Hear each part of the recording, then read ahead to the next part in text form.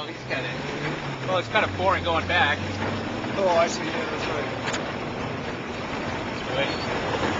That's. There you go.